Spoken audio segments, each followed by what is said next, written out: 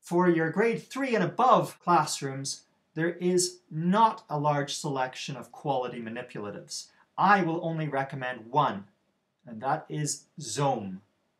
Zome allows the flexibility to create something absolutely stunningly beautiful for the child. Here is a prototype Death Star.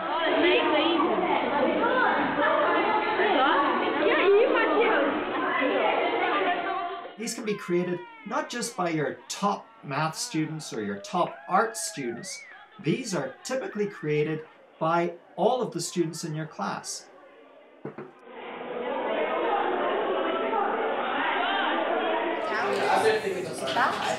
That's awesome.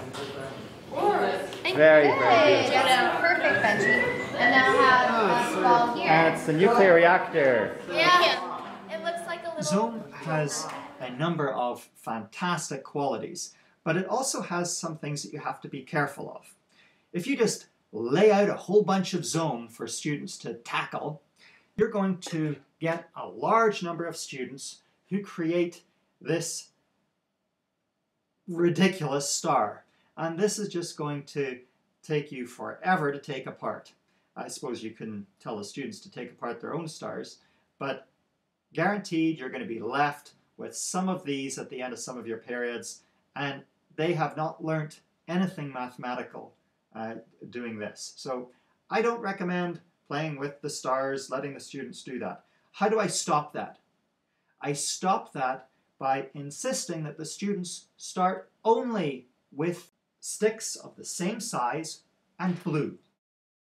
If you want to get more regimented, you can say, first of all, you have to build a triangle, then you have to build a square, then you have to build a pentagon, then you have to build a hexagon. You could do that, but I think that's a little bit too regimented. I, I do like you to stick with one size of blue strut, but to give them the flexibility to explore. And then you introduce uh, different colored struts um,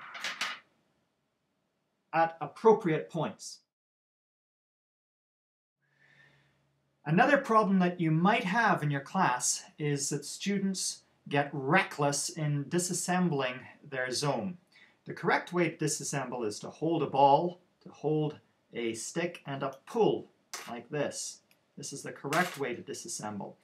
However, some students get lazy. They will twist to get rid of a one, and of course then we destroy it, and we are left with a totally destroyed stick and the ball is also damaged. So we don't want to do that.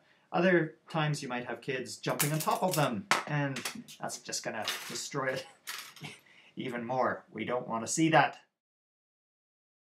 The most common issue with Zome construction is that kids, for example trying to make a square, will put on a piece like this and they'll this is quite extreme, but nevertheless, this shows a typical problem.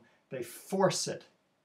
Okay, you can see that it's forced because we have this highly stressed stick here. Don't put Zome sticks where they don't want to go. And this Zome stick does not want to go to this ball over here.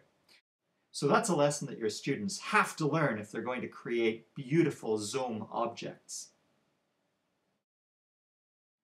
Zome is fantastic for showing students the connection between mathematics and beauty. But there's other connections that Zome is really good for. First, that I'm going to show you is uh, the Fibonacci connection. So here we have a long stick, which is the same length as the two sticks of the next smallest size. And this stick is the same length as the sum of the two sticks of the smaller size.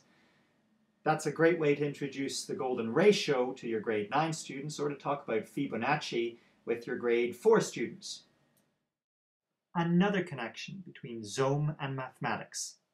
This is a truncated octahedron and there's 24 vertices on it.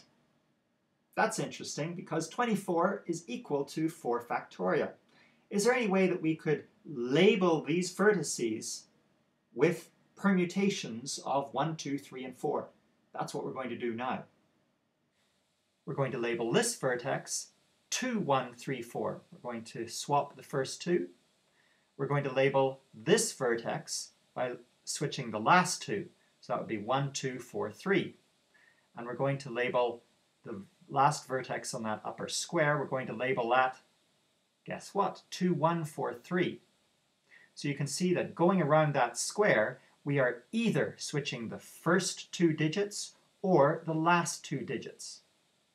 What about going around a hexagon? Each time that you step to a neighboring vertex, you have to switch the order of two numbers that are side by side in your permutation. Treat this as a class exercise. You might as well fill up the entire truncated octahedron. And this will give you a great chance to link different areas of mathematics, geometry with permutations.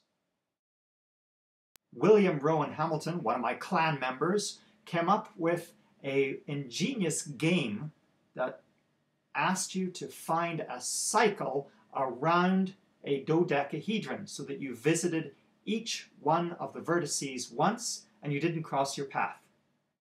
A solution is relatively easy to discover. Here I started with a white ball and I'm adding blue struts to complete the cycle. Schools might consider combining their art and math budgets. Zome is a fantastic framework for paper mache, but that's another video. I'm highly recommending Zome. It's a huge mess in the home.